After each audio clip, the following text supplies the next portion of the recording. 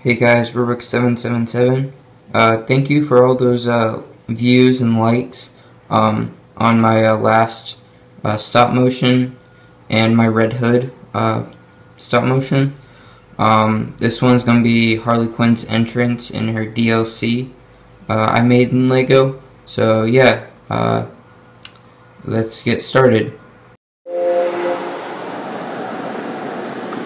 got a bad feeling about this. We don't have the facilities to contain someone like Poison Ivy. We just gotta hold her for a few more hours before she gets transferred to Black. yeah, if she doesn't tear down the Blüdhaven Police Department first.